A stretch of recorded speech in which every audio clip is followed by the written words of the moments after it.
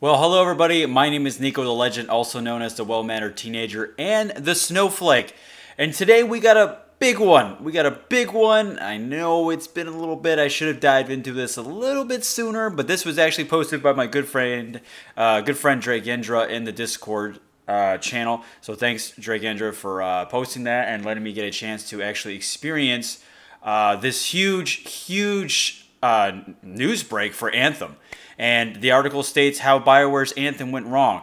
And like I said, this is a huge article, a really big one. And to me, honestly, I, you can call me lazy uh, as, as a, a creator because you could just read this yourself. But I'm going to be doing this the long way instead of just sum, summarizing it because I think if you summarize it, an article this big, I I think I'm not going to hit all the good strong. I mean, I could hit the strong points, but not everything. I like to go into the the nitty gritty, read everything word for word, which also stands for guys. I'm going to read this whole article to you, and I hope you do enjoy. Anyway, uh, let me know what you think about it at the end of the at the end of the video. Bear with me; it's going to be pretty long. Comments, leave it at the thought thought thought thought thoughts below below below below. Uh, uh, uh, uh, oh, here we go. Subscribe.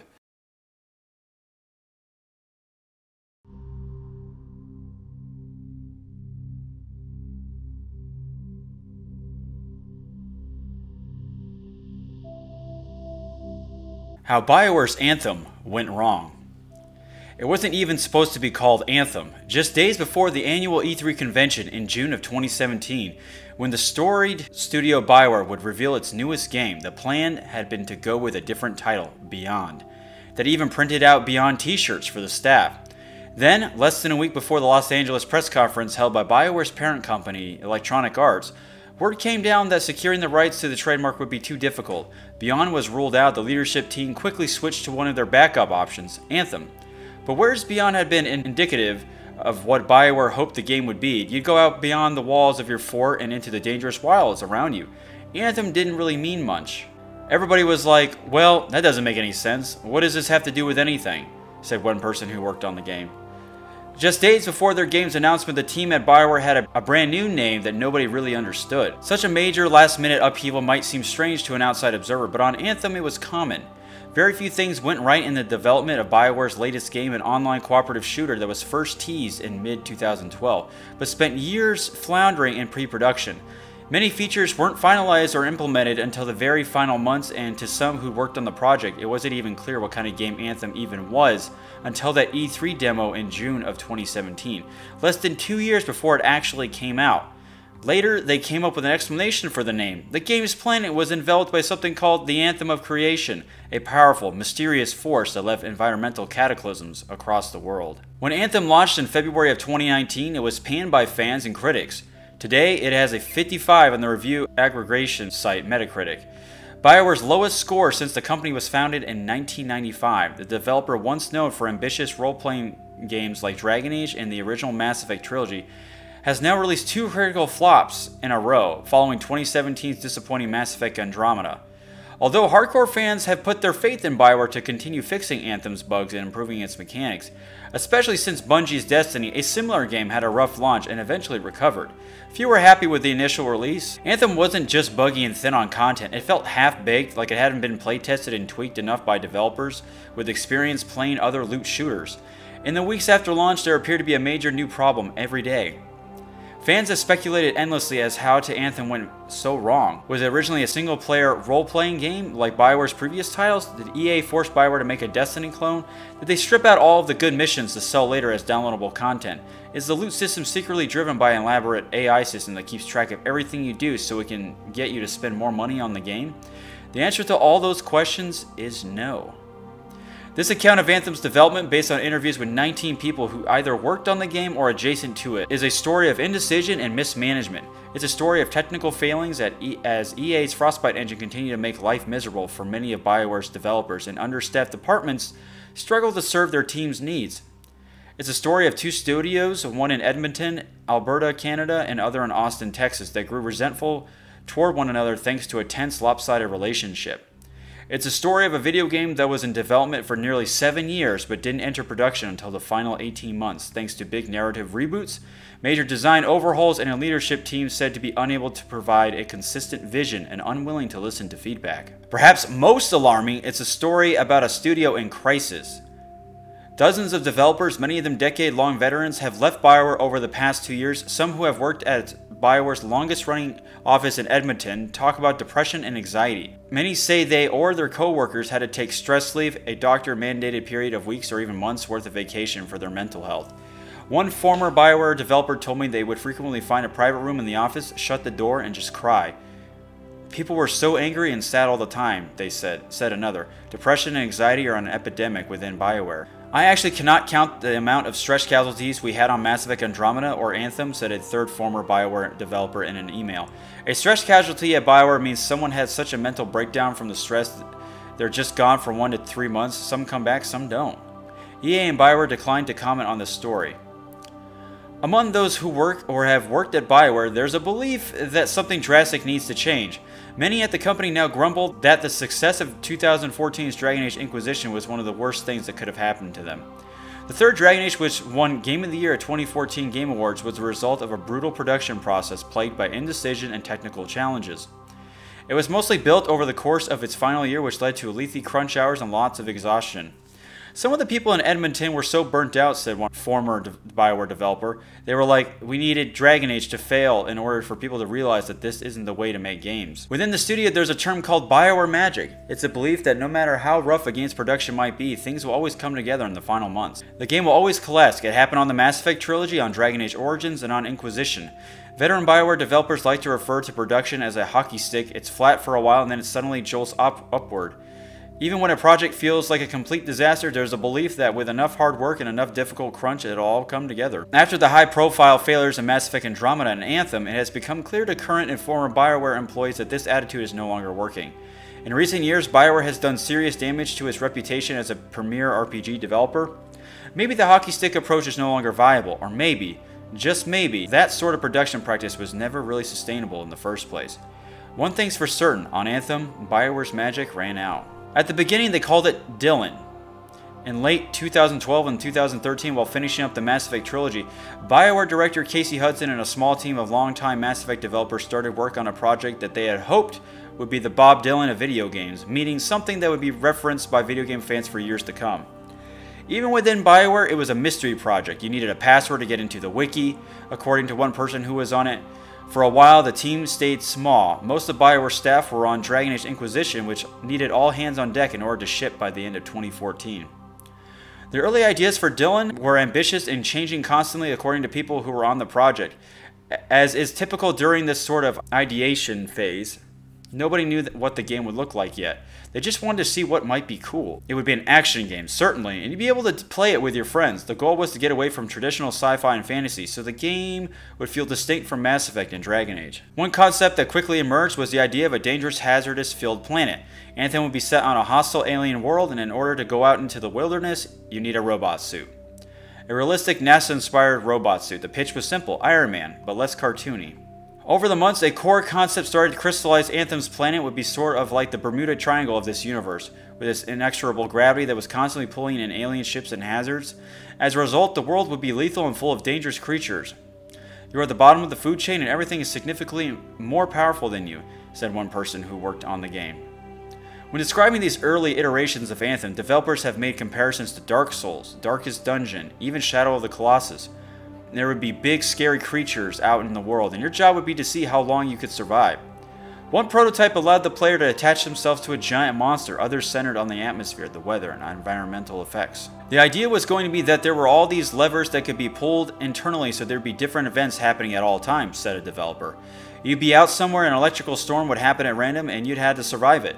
We had an early demonstration of this where the environment was dynamic, and by pulling levers, we could change it from summer to winter to fall. You'd see the snow hitting the ground, hitting the trees. There were states of the build where they were being demonstrated. And that we could see this was something you could actually accomplish. We saw a small glimpse of these prototypes at E3 2014 when BioWare showed a teaser trailer for as yet untitled game that would eventually become Anthem. The final game would have nothing even close to those teases. Anthem was always envisioned as an online multiplayer game according to developers who worked on it, but it wasn't always a loot shooter, the kind of game where you endlessly grind missions for new weapons. In these early versions, the idea was that you would embark from a city and go out on expeditions with your friends, staying out in the world as long as you could survive. You'd use a robotic exosuit and you fight monsters with melee and shooting attacks, but the focus was on was less on hoarding loot and more on seeing how long you could survive. One mission, for example, might take you in a squad to the center of a volcano where you'd had to figure out why it was erupting, kill some creatures, and then fight your way back. That was the main hook, said an Anthem developer. We're going out as a team, you're going to try to accomplish something as a team, then come back and talk about it. Along the way, you could scavenge or savage alien ships for parts and bring them back to your base in order to upgrade your weapons or enhance your suit. It was really interesting, said one person who worked on it. It really stuck a chord with a lot of people who were working on it originally. What remained unclear during this process was how many of these ideas and prototypes would actually work at scale. Dynamic environments and giant creatures might perform nicely in a controlled environment, but would the Anthem team really be able to make those features work in an online open world gameplay by thousands and thousands of people? And would Frostbite, the volatile video game engine that BioWare was now using for all its projects, really support all these features? As these questions lingered, the Anthem team faced a major shakeup. In August of 2014, as they continued to prototype and dream about their game, they lost their leader, Casey Hudson, who had directed the beloved Mass Effect trilogy and was supposed to be the creative director on Anthem, was departing. The foundation of our new IP in Edmonton is complete, he wrote in a letter to the studio, and the team is ready to move forward into pre production on a title that I think will redefine interactive entertainment. John Warner, a relatively new hire who had worked for Disney before joining EA in 2011, took the role of the game director. BioWare veterans like to describe Casey Hudson's Mass Effect team as the Enterprise from Star Trek. They all did what the captain said and they were all laser focused on a single destination. Now, the Enterprise has no longer had its Jean Luc Picard. Still, members of the Anthem team say they remained happy. Dragon Age Inquisition shipped at the end of 2014 to critical acclaim, and many of those developers moved over to Anthem where they found a team full of high hopes and ambitious ideas. EA had these team health reports, said one. Anthem's morale was among the highest in all of EA. It was really good for quite a while. Everybody saw there was so much potential in those early prototypes. Potential was always the word there. One Bioware developer who hadn't yet moved to the Anthem team recalled hearing those colleagues talk about how much better they had it than the people who were stuck in Mass Effect Andromeda, which at the time was going through serious struggles thanks to technical challenges and significant directional changes. Surely they thought that couldn't happen to Anthem. We took so much time to get the experience correct, said another person who worked on the game. I think that's why morale was so high. I, I know we had taken the time to really refine what we wanted the game to be about. Now we just had to go and produce it. Question was, how would they do that? As development progressed, it became clear that some of the Anthem's team's original ideas either wouldn't work or weren't quite solidified enough to be implemented. Take traversal, for example. The mandate was that Anthem's world would be massive and seamless, but how would you get around? The team played around with prototypes, exploring different ways in which your exosuit can move vertically across the world. For a long time, they thought it'd be climbing up sides of mountains and ledges, but they couldn't get that quite right. Early iterations of flying, which developers say was removed from and re added to Anthem several times, were more like gliding, and members of the Anthem team say it was tough to get the system feeling all that fun. Every time they changed their traversal, it meant changing the world design accordingly, flattening and stretching terrain to accommodate the latest movement style. There were experiments with procedural encounters where dynamic creatures and environmental hazards would spawn randomly from the world, but those weren't working too smoothly either. That took a long time, said one developer. The game was super reliant on this procedural system that just wasn't fun. The story ch- started changing drastically too. In early 2015, veteran Dragon Age writer David Gaider moved over to Anthem, and his version of the story looked a lot different than the ideas with which they had been experimenting for the past few years. Gaider's style was traditional Bioware big, complicated villains, ancient alien artifacts, and so on, which rankles some of the developers who were hoping for something more subtle. There was a lot of resistance from the team who just didn't want to see a sci-fi Dragon Age, I guess, said one developer. Added a second, a lot of people were like, why are we telling the same story? Let's do something different. When asked for comment on this, Gaider said in an email that when he started on the project, Anthem design director Preston Watamaniuk had pushed him in a science fantasy direction. I was fine with that as fantasy is more my comfort zone anyhow, but it was clear from the outset that there was a lot of opposition to the change for the rest of the team. He said, maybe they assumed the idea for it came from me. I'm not sure, but comments like it's very Dragon Age kept coming up regarding any work me or my team did, and not in a complimentary manner. There were a lot of people who wanted to say over Anthem's story and kept articulating a desire to do something different, without really being clear on what that was outside of just not being anything Bioware had done before. From my perspective, it was rather frustrating. Gaider left Bioware in early 2016. As time passed, I didn't feel keen to play the game that I was working on, he told me, which led to new writers for Anthem and a total story reboot. This led to even more chaos. As you can imagine, writing for Bioware sets the foundation for all games, said one developer. When writing, it's unsure of what it's doing. It causes a lot of destruction to a lot of departments. Instability had become par for the course on the Anthem team as Hudson's departure left a void that proved tough to fill. The job of steering Anthem now fell to the creative leadership team, a group that included game director John Warner, designer director Preston Watamaniuk, art director Derek Watts, animation director Parrish Ley, and a handful of other Mass Effect veterans who have been on Anthem since the beginning. Some current and former BioWare employees feel a lot of resentment towards this group, and in interviews, many who worked on Anthem accused the leadership team of indecision and mismanagement. The root cause of all of this was the lack of vision, said one former Bioware developer. What are we making? Please tell us. The recurring theme was there was no vision, there was no clarity, there was no single director saying, this is how it all works together. They never seemed to settle on anything, added that person. They were always looking for something more, something new, said another. I think most people on the team felt like we didn't know exactly what the game was or what it was supposed to be because it kept changing so much. The most common anecdote relayed to me by current and former Bioware employees was this.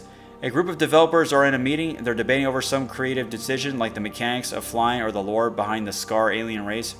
Some people disagree on the fundamentals, and then rather than someone stepping up and making a decision about how to proceed, the meeting would end with no real verdict, leaving everything in flux. That would just happen over and over, said one Anthem developer. Stuff would take a year or two to figure out because no one really wanted to make a call on it. Keep in mind, said another Anthem developer, everyone had hard decisions to make that were never done before.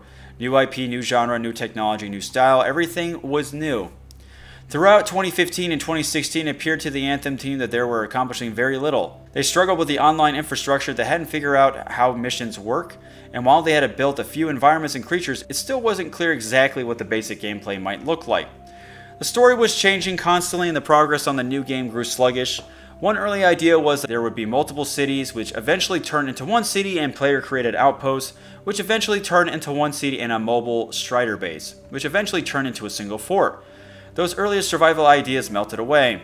They were still figuring out core parts of the IP like Ember, how technology worked, that sort of thing, said one former Bioware developer.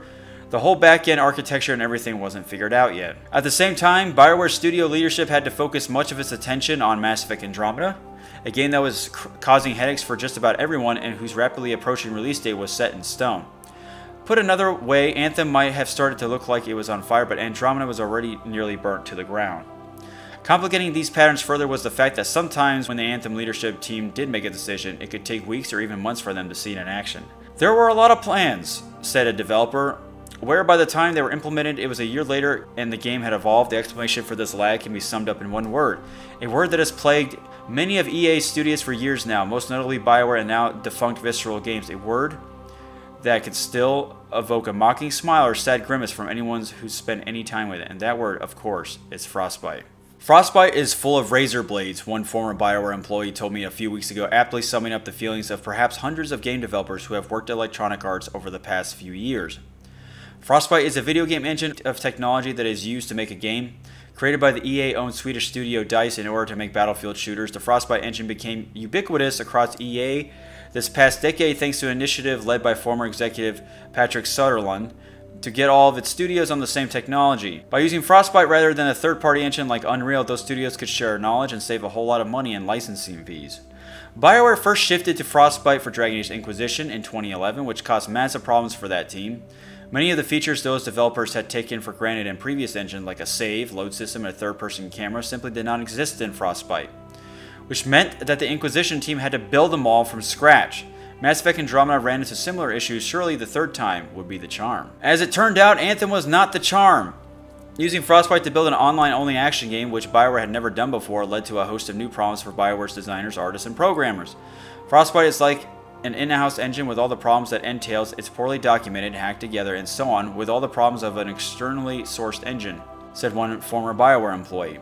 Nobody you actually work with designed it, so you don't know why this thing works the way it does, why this is named the way it is. Throughout those early years in development, the Anthem team realized that many of the ideas they'd originally conceived would be difficult, if not impossible, to create on Frostbite.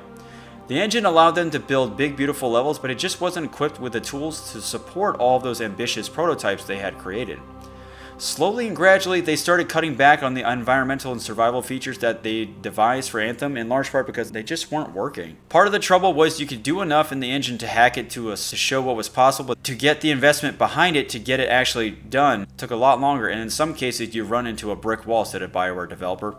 Then you'd realize, oh my god, we can do this if we reinvent the wheel, which is going to take way too long. It was sometimes difficult to know when to cut and run. Even today, Bioware developers say Frostbite can make their jobs exponentially more difficult building new iterations on levels, and mechanics can be challenging due to sluggish tools, while bugs should take a few minutes to squash, might require days of back and forth conversations. If it takes you a week to make a little bug fix, it discourages people from fixing bugs, said one person who worked on Anthem. If you can hack around it, you can hack around it, as opposed to fixing it properly, said a second. I wouldn't say the biggest problem I had with Frostbite was how many steps you needed to do something basic. With another engine I could do something myself, maybe with a designer. Here, it's a complicated thing. It's hard enough to make a game, said a third Bioware developer. It's really hard to make a game where you have to fight your own tool set all the time. From the beginning, Anthem's senior leadership had made the decision to start from scratch for a large part of the game's technology rather than using all of the systems the company had built for Inquisition and Andromeda. Part of this may have been a desire to stand out from those other teams, but another explanation was simple. Anthem was online, the other games were not. The inventory system that Bioware had already designed for Dragon Age on Frostbite might not stand up in an online game, so the Anthem team figured they needed to build a new one.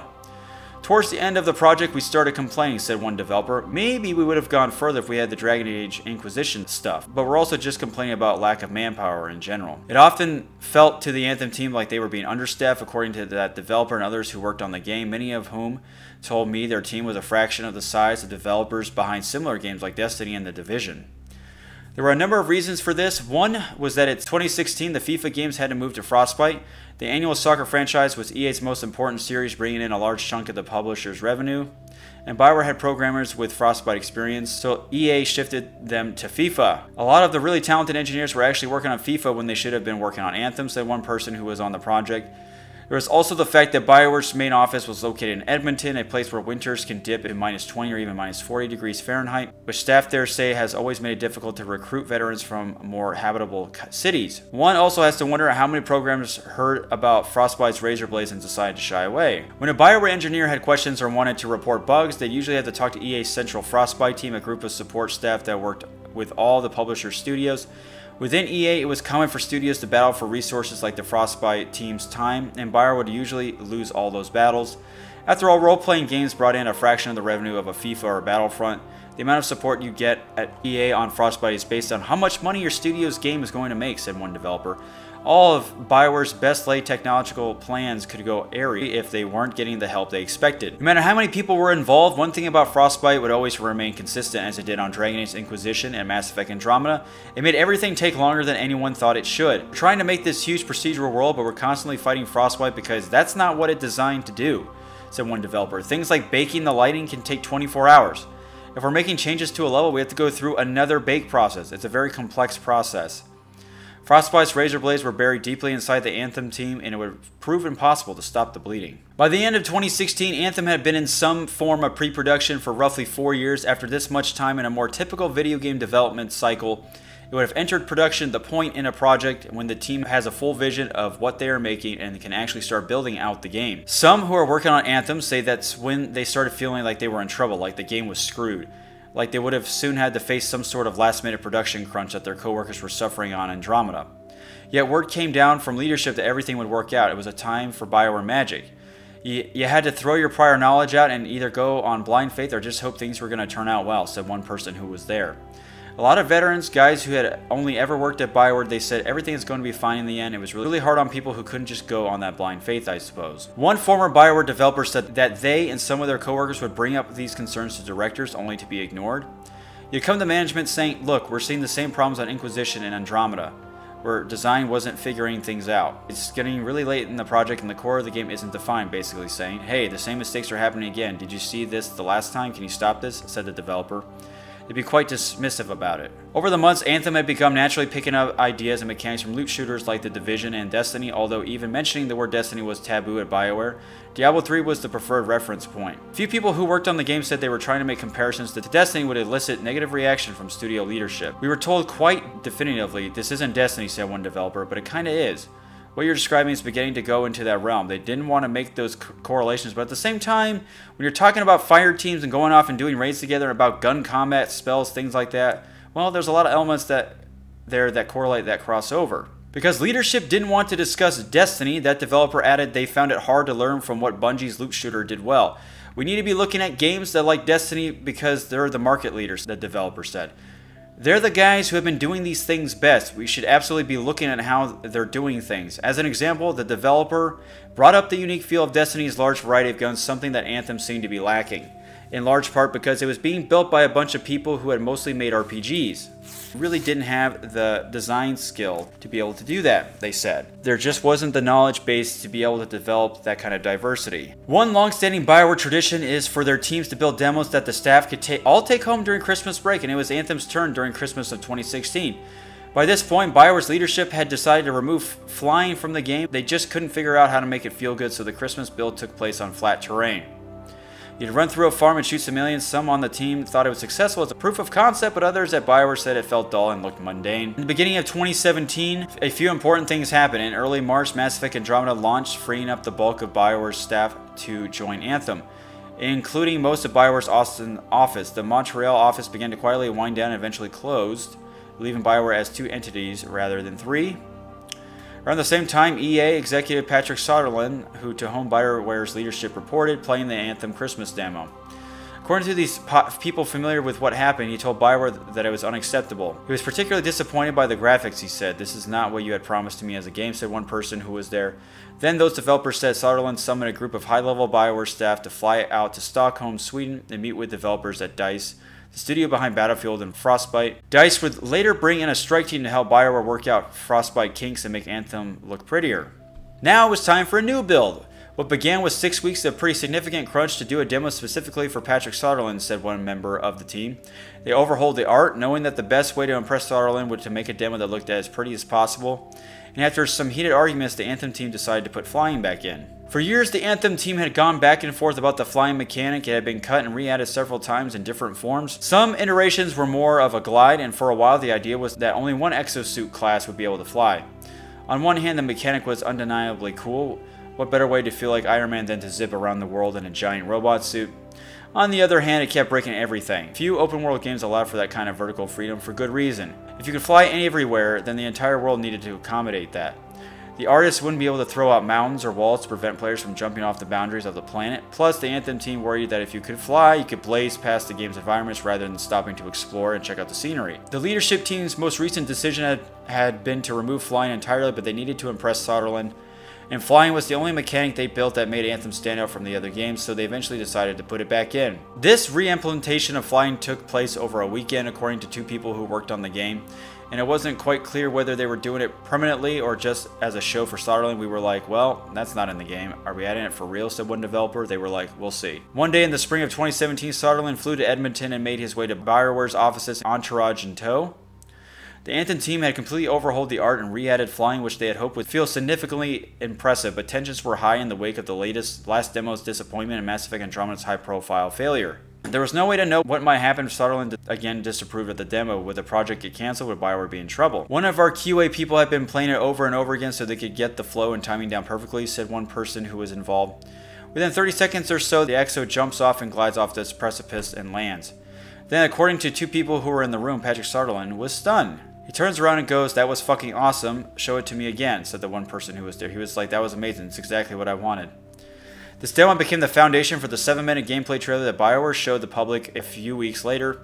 In June of 2017, just a few days after the last-minute game changed from Beyond to Anthem, BioWare boss Aaron Flynn took the stage of EA's E3 press conference and announced the game the next day at Microsoft's press conference. They showed a demo that helped everyone, including BioWare's own developers, finally see how Anthem would play. What the public didn't know was that even then, Anthem was still in pre-production. Progress had been so slow that the demo was mostly guesswork, team members say. Which is why the Anthem that actually launched looks so drastically different than the demo the team showed at E3 2017. In the real game, you'd have to go through a mission selection menu and a loading screen before you can leave your base in Fort Tarsis. In the demo, it all happens seamlessly. The demo is full of dynamic environments, giant creatures, and mechanics that bear little resemblance to the final product. Like getting to see new loot when you pick it up rather than having to wait until the end of the mission. After E3, that's when it really felt like, okay, this is the game we're making, said one Anthem developer, but it still felt like it took a while to get the entire team up to speed. It was also kind of tricky because there were still a lot of question marks. The demo was not actually built properly. A lot of it was fake, like most E3 demos. There was a lot of stuff that was like, oh, are we actually doing this? Do we have the tech for that? Do we have the tools for that? To what end can you fly? How big should the world be? The abilities and all that were still getting decided, said another developer. Going out of pre-production is never really a crisp thing. You have to just look at the attitude of the team and what they're doing. The fact of the matter is fundamental things were not figured out yet. At E3 2017, BioWare announced that Anthem would launch in fall 2018. Behind the scenes, however, they have barely even implemented a single mission, and the drama was just getting worse. Until very recently, hardcore BioWare fans used to refer to the studio's various teams using derogatory tiers. There was the A team, the B team, and the C team. Opinions may have varied on which was which, but in general, A team referred to the original Bioware The Office in Edmonton, Canada was responsible for Dragon Age and the Mass Effect trilogy. A couple thousand miles southeast was the B team, a studio in Austin, Texas that was founded to make Star Wars The Old Republic massively multiplayer online game. The C team usually referred to Montreal, the ill-fated studio behind Mass Effect Andromeda. What fans might not have realized was that even within Bioware, some people thought the same way. Anthem is the game you get from a studio that is at war with itself, said one former Bioware developer. Edmonton understandably has the perspective of, we are the original Bioware. Anything not part of that brand is lesser and does not garner the same level of trust as people that are in Edmonton office. So I think that's a little bit of an issue there. After shipping the Old Republic in 2011 and continuing to cultivate and support it, BioWare Austin started a few of its own projects. There was Shadow Realms, a 4v1 multiplayer game that was announced in the summer of 2014. And there were some other prototypes like Saga, a multiplayer open world Star Wars game that was in early development for a few months. And then there was the dream of a New Knights of the Republic game which some Bioware Austin staffers say was always dangled at a possibility, but never really came close to getting off the ground. By the end of 2014, those projects were all canceled, and Bioware had enacted an initiative that it called One Bioware, a plan designed to get all the company studios working in tandem. Many of Bioware Austin's staff moved on to the Dragon Age Inquisition downloadable content and then Mass Effect Andromeda. By early 2017, around the time Soderlund was demanding to see that new demo, most of BioWare Austin was officially on Anthem, helping just about every department from cinematics to storytelling. Anthem's lack of vision in Edmonton was even more pronounced in Austin, whose developers suddenly found themselves working on a game they didn't quite understand. Was it an online loot shooter like Destiny, or was it more of a role playing game? How did you get around the world? What would the missions look like? One of the things we struggled with was we didn't understand the game concept, said one former BioWare Austin developer. When Anthem was presented to us, it was never really clear what the game was. They were still funding the vision for the game, said a second. I saw multiple presentations given to the entire studio trying to define what Anthem was about. The Hollywood elevator pitch version of Anthem. When we talk about Anthem, what we mean is X. I saw many, many variations of that over time, and that was indicative of how much conflict there was over to find a vision for this game, and over how many people were struggling to have their vision become the one that won out. Even when they did figure out what was happening, it felt to Bioware Austin staff like they were grunts. Developers who worked both in Austin and Edmonton said the messaging is that Edmonton would come up with the vision and Austin would execute on it, which caused tension between the two studios. Bioware Austin developers recall offering feedback only to get dismissed or ignored by Bioware's Edmonton's senior leadership team a process that was particularly frustrating for those who have already shipped a big online game, Star Wars The Old Republic, and learned from its mistake. One developer described it as a cultural clash between a group of developers in Edmonton who were used to making single player box product games and a group of developers in Austin who knew how to make online service games. We tell them, this isn't going to work. Look, these story things you're doing, it's going to split up the player experience, said an Austin developer. We'd already been through all of it with the Old Republic. We knew what it was like when players felt like they were getting rushed through story missions because other players were on their headsets going, come on, come on, let's go. So we knew all these things and we'd bring it up repeatedly and we were ignored.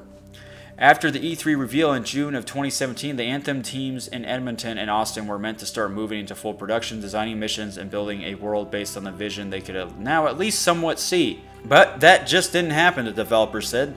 They had been in an idea land for four to five years and nobody had actually gone. Okay, we need to decide what we're making and make it, said one member of the team. They were still going back to the drawing board on major systems, which is fine. Part of game development is that you iter iterate and it's like, this didn't work, let's go again. They never got to the point of like, this doesn't work, let's iterate on it. It was, this doesn't work, let's start from scratch. The story was still in flux under new narrative director James Ohlen, who would also leave Bioware before Anthem shipped, and design was moving particularly slowly with systems like mission structure, loot, and exosuit power still not finalized. A number of veteran Bioware developers began leaving the studio that summer, and an untimely death of Corey Gaspur, one of the game's lead designer, left a massive hole in that department. Core features like loading and saving still hadn't been implemented in the game. It's been difficult to playtest builds because they were riddled with bugs. It came time to move from pre-production to production in June, said one Bioware developer. June comes, we're still in pre-production, July, August, what the heck's going on? The Anthem's leadership team and some other veterans continued to talk about Bioware Magic, but it was clear to a lot of people that something was wrong. They publicly committed to a fall 2018 ship date, but that had never been realistic. Publisher EA also wouldn't let them delay the game any further than March 2019. The end of the company's fiscal year, they were entering production so late it seemed like it might be impossible to ship anything by early 2019, let alone a game that could live up to BioWare's lofty standards. Something needed to give. On June 2019, 2017, BioWare's Mark Darrah published a tweet that may seem odd today. He noted that he was the executive producer of the Dragon Age franchise, and gave a list of games he was not currently working on. Anthem, Mass Effect, Jade Empire, a Dragon Age Tactics game, Star Wars. The implication was that Darrah was producing Dragon Age 4 at the time. This was true. This iteration of Dragon Age 4 was codenamed Joplin, and those who were looking on it have told me they were excited by creative director Mike Laidlaw's vision for the project. But Anthem was on fire, and by October, BioWare had decided to make some massive changes. That summer, studio general manager Aaron Flynn departed to be replaced by a returning Casey Hudson. As part of this process, the studio canceled Joplin, Laidlaw quit shortly afterward, and Bioware restarted Dragon Age 4 with a tiny team under the codename Morrison. Meanwhile, the studio moved the bulk of Dragon Age 4's developers to Anthem, needed all the company's resources if it was going to get hit the ship date that EA was demanding. Mark Darrah was then installed over game director John Warner to become executive producer on Anthem. His role became so significant that he took top billing in Anthem credits. That the first name in Anthem's credits is someone who started working on the game in October 2017, just 16 months before it shipped, says volumes about its development. If Dragon Age Inquisition hadn't been so successful, perhaps Bioware would have changed its production practices. Perhaps studio leadership would have preached so strongly about the, that Bioware magic, that last minute cohesion, that they all seemed would happen with enough hard work and enough crunch. But it was ultimately Dragon Age Inquisition's executive producer who steered Anthem out of rocky waters and into port. When Mark Darrah joined the project in the fall of 2017, he began pushing that anthem toward one goal ship the game. The good thing about Mark is that he would just wrangle everybody and make decisions, said one former Bioware developer. That was the thing that the team lacked. Nobody was making decisions. It was deciding by panel. They'd almost get to a decision, then somebody would go, but what about this? We were stagnant, not moving. He started saying basically, just try to finish what you've started, he said, as second developer. The hard part about that was that we're still a lot of things to figure out. There's still a lot of tools to build to be able to ship the game we were making. It was very, very scary because of how little time there was left. At this point, that developer added, felt like player-based gameplay was in a good spot. Combat felt like a strong evolution from Mass Effect Andromeda, which despite its flaws was widely considered to have the best shooting of any Mass Effect game. Now that flying was a permanent fixture in Anthem, it started to feel great too. Other parts of the game were in much worse shape. It was level design, story, and world building that got screwed the most. And that things kept changing and had to be rebuilt a lot of the time. By the beginning of 2018, by another former developer's recollection, Anthem's progress was so far behind that they only implemented a single mission. Most of the high-level design that's still not been finalized like the loot system and javelin powers and the writing was still very much in flux. They talk a lot about the six year development time, but really the core gameplay loop, the story, and all the missions in the game were made in the last 12 to 16 months because of the lack of vision and total lack of leadership across the board, said the developer. This final year was when Anthem began to materialize and became one of the most stressful years in BioWare's history. There was pressure within the studio as many teams had to put in late nights and weekends just to make up for the time they lost. There was pressure from EA as executive, Samantha Ryan brought in teams from all across the publisher, including developers from outside studios like Motive and Montreal, to close out the game. And there was pressure from the competition as Division 2 was announced, Destiny 2 continued to improve, and other loot shooters like Warframe just kept getting better. Meanwhile, the gaming landscape was changing. Electronic Arts had gone all in on regularly updated games as a service, but was struggling in several key areas, closing Visceral Games in San Francisco and facing serious drama as its ambitious EA Motive Studio in Montreal. The Star Wars Battlefront pay-to-win debacle led to a reinvigorated public hatred for all things EA and a publisher-wide reboot of all things Lootbox. Even as EA executives continually pushed for all of their games to have long-term monetization plans, Anthem included, EA had been public about its distaste for linear games that it could be easily returned to GameStop after a single playthrough.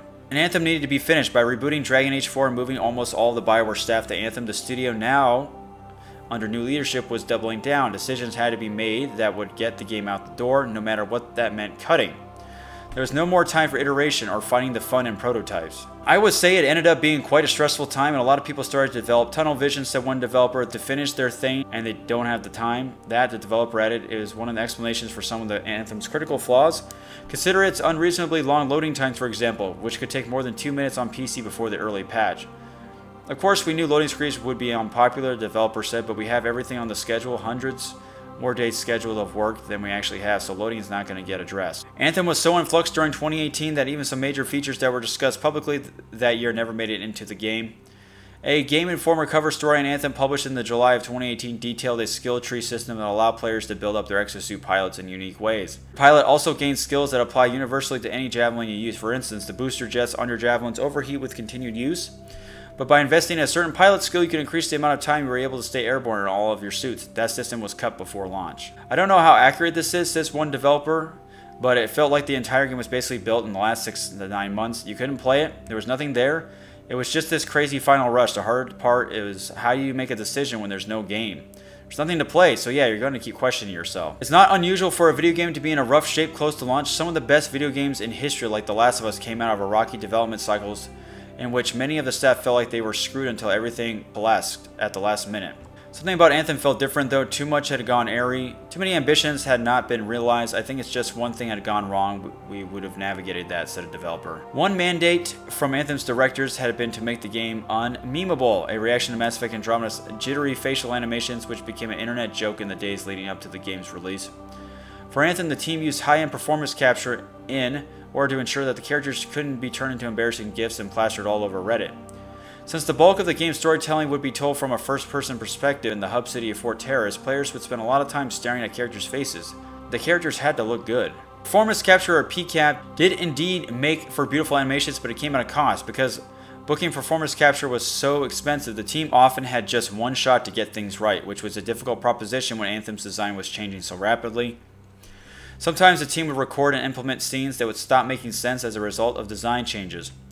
There are little bits of dialogue, little moments in some of these performance capture scenes that if you stop and think don't make any sense, said one developer. And the reason this didn't make any sense is because they changed some of the gameplay down the line, but it was impossible to change the performance capture. One mission involving the rebellious Sentinel Drax, for example, has a few lines of dialogue that reference the destruction of her Javelin exosuit, which never happens in the game. The explanation is simple, the developers said. The mission was altered after they recorded the dialogue and there was no time or money to go re-record it.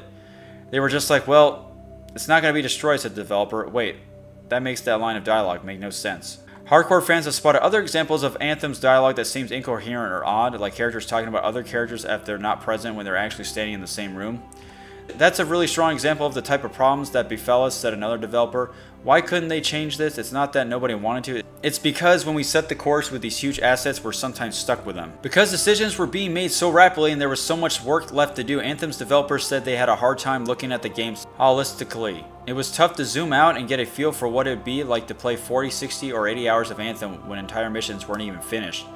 How could you tell if the loot drop rates were balanced when you couldn't even play through the whole game? How could you assess where the game felt grindy or repetitive when the story wasn't even finished yet? Plus, the build could be so unstable it was difficult to even log on to test for a few bugs. I think there was an entire week where I couldn't do anything because there were server issues, said one person who worked on the game.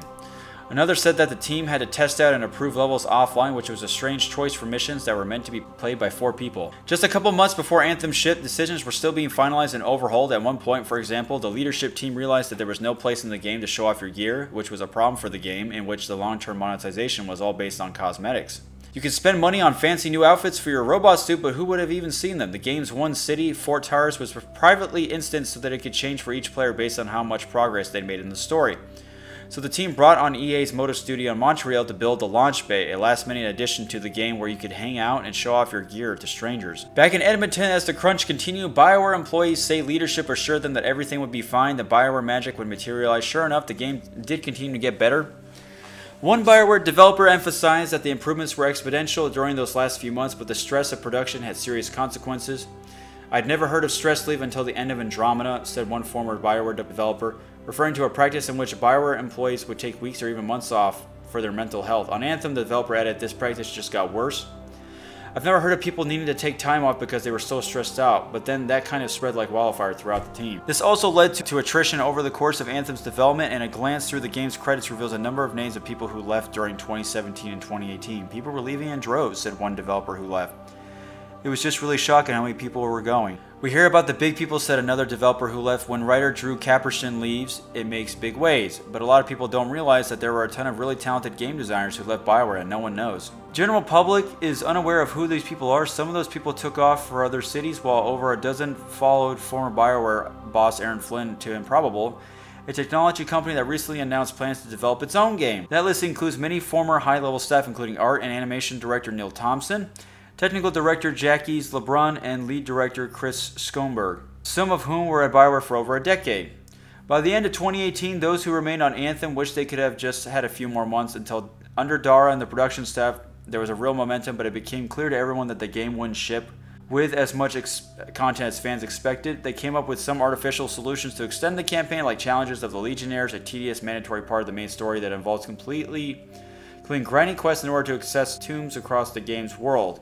Originally, according to two Bioware developers, this mission included time gates that might force players to wait days to complete it all. Fortunately, they changed this before launch. That mission was controversial even within Bioware, said one. The reasoning was to definitely throttle player movement. There was no escaping EA's fiscal targets, and Anthem already been in development for nearly seven years. They had committed to launching within EA's fiscal year, which ended in March 2019. The game was shipped in February. Even if they wanted a few more months, that just wasn't an option. In the end, said one developer, we just ran out of time.